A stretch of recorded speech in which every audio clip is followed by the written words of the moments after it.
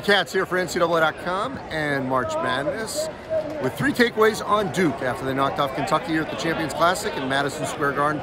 First off, the freshman for Duke, heralded. They answered the challenge.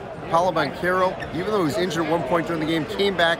He finished with 22 points, unstoppable on a couple of moves. Trevor Keels, 25 points.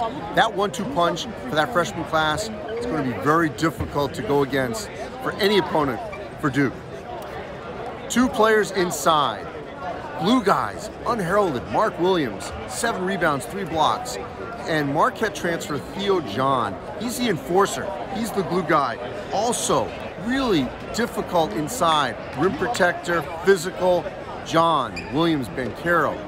Jon Scheyer told me prior to the game he thinks they've got one of the best front courts in the country, and it looked the part against Kentucky.